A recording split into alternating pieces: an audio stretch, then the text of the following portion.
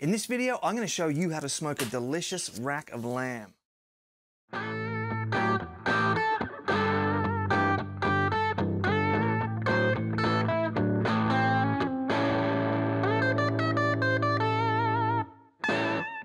Hi there, I hope you're well wherever you are and you got that thin blue smoke rolling.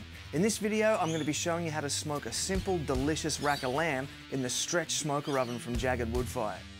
If you're new to the channel, my name is Ben, this is Smoking Hot Confessions, and we are mad about barbecue.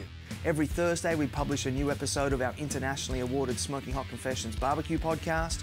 Every Saturday, we publish a new one of these cooking videos, and every Tuesday, we publish a new tips video. So if you love barbecue too and you need to get more barbecue into your life, consider subscribing, hit that little notification bell, and we'll tell you every time we upload a new video. Let's get back to the cooking. It's no surprise to any of you that lamb is getting more and more expensive and racks especially so. These ones we're going to do today, I picked them up at Aldi, the price was comparatively affordable and the quality is actually really good. Now lamb is known for being a gamey meat, quite a strong flavour. But the way we're going to trim, season and gently smoke these racks today will have even the pickiest eater chewing off the bone. Alright, now we're going to need a couple of tools to help us get this done today. The first thing of course is you're going to want a nice cutting board and today we've got this beautiful customised one here from Heartland Customs down in South Australia. The next thing you're going to want is a nice quality steel to put a nice sharp edge back on your knife. And today's knife is going to be a nice boning knife. We've got a nice flexible bladed one here, you'll see why that's important shortly. Next on the list is our instant read thermometer. This uh, probe pops out of here, lets you get the exact internal temperature of the meat and test for feel and things like that as well. You've heard me talk about these before. And something you might not have seen me use before is a wireless leave-in thermometer. Why, why I call it leave-in is because you put the probes into the meat, you leave them in, in the smoker. That's going to give us a smartphone readout telling us the constant temperature of the meat so we're going to know exactly what temperature to pull it out at. When it comes to trimming lamb racks, you've got a couple of choices. One is you can just do nothing and leave it as is, but the problem is the seasoning's not going to get down onto the meat. What I'm going to do today is I'm actually going to take this layer of fat off the top. You can see we've got quite a lot of layer of fat there. I'm going to French down in between the bones a little bit, and then I'm going to foil the bones to keep them looking nice during the cooking process.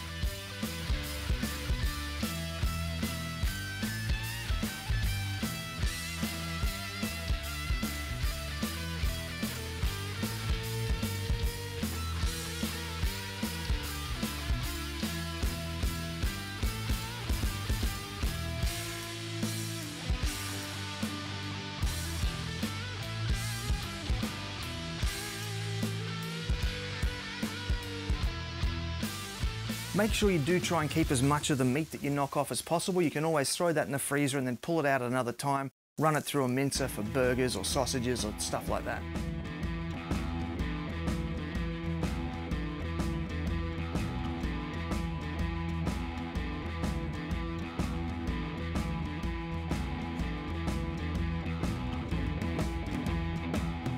We're going to want to remove this silver skin as well from here so the seasoning that we're going to put on can get down and touch the meat as well.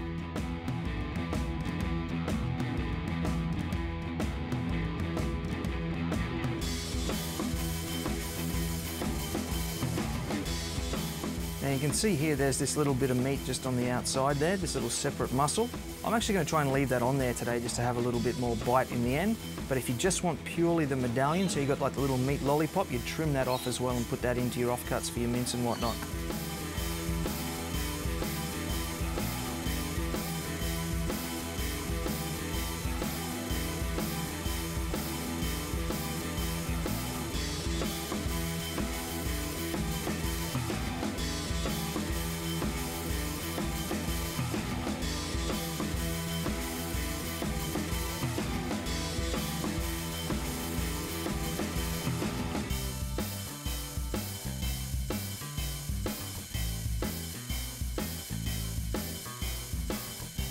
So you can see there's still this bit of seam of fat running between the medallion and the rest of the rack. If I turn it like that, you can actually see that if I try and cut that out, I'm gonna end up separating the medallion from the rack. So I'm gonna leave that in there, and that little bit of fat isn't gonna damage the flavor that much.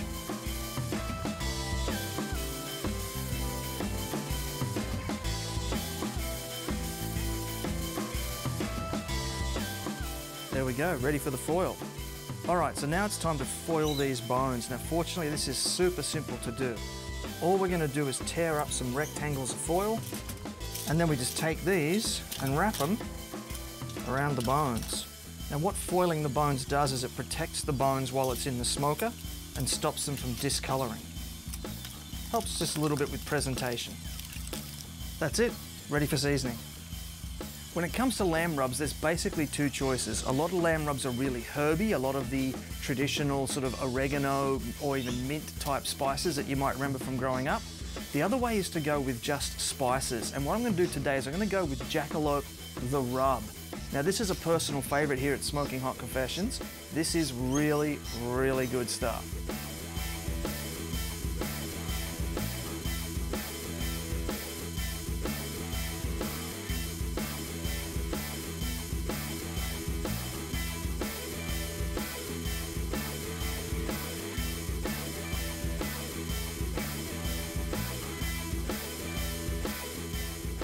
Now that this rack has been trimmed, foiled and seasoned, it's time to go in the smoker. All right, so now we've got these racks of lamb in the smoker, and this is where our wireless thermometer is gonna come in.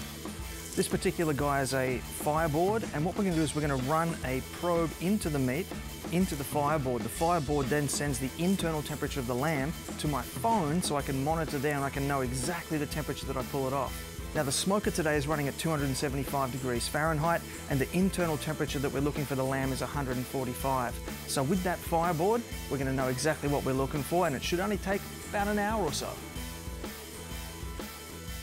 This one is an ambient probe and it's gonna keep an eye on the internal temperature of the smoker itself.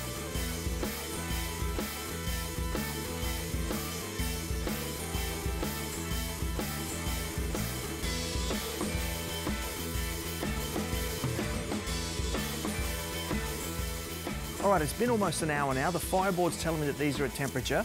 So I'm just gonna quickly give them a probe with the instant read. Just double checking that we're around 145 for that medium rare. A little bit over, but that's okay. Over in some parts, under in others. All right, that's all looking top, so now it's onto the sear. One of the things I love about this JAGRD wood-fired smoker oven is this fire brick base. Not only is it great for searing off the bottom of pizzas, it's also great for searing off our racks of lamb. So all we're gonna do is take the scraper, clean them up, and get them in there.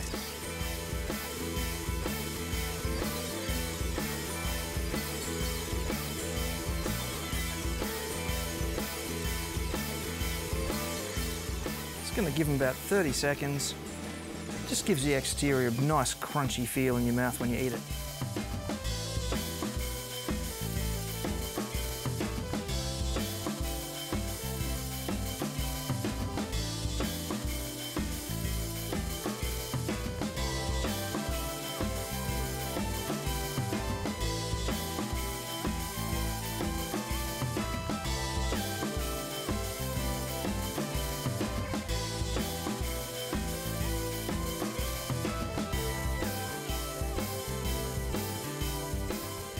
All right, so now it's time to give these racks a rest, about 10 to 15 minutes. We're gonna wrap them in foil, leave them here on the bench, and then we're gonna slice them up and have a look.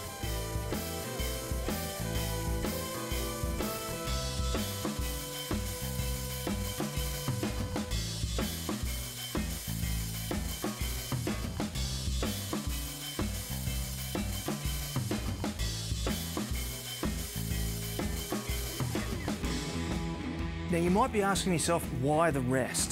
When a piece of meat cooks, it contracts in the heat. And so by giving it a rest, what you're letting it do is you're giving that contracted meat a chance to relax. And that's gonna do two things for you. One, a relaxed meat is gonna be more tender meat when you eat it, and also the juices are gonna redistribute back through the meat.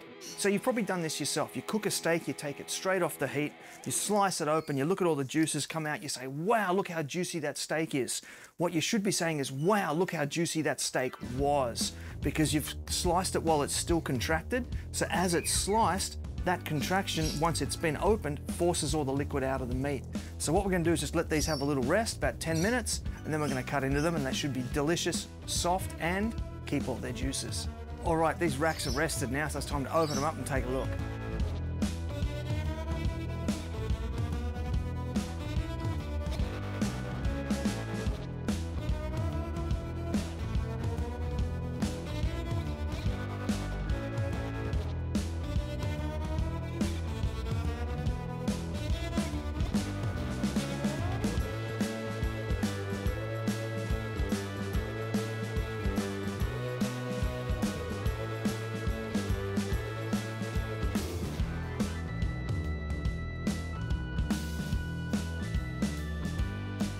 Right, this lamb is looking great, it's smelling great. I'm so excited. There's only one thing left for me to do.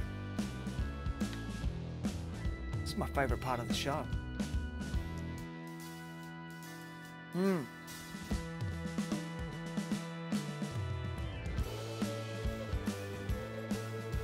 That is soft, that is succulent, that is juicy.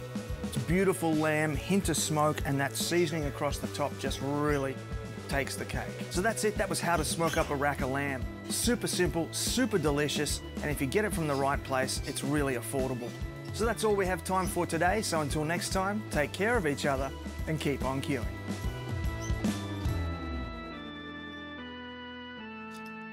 Mm.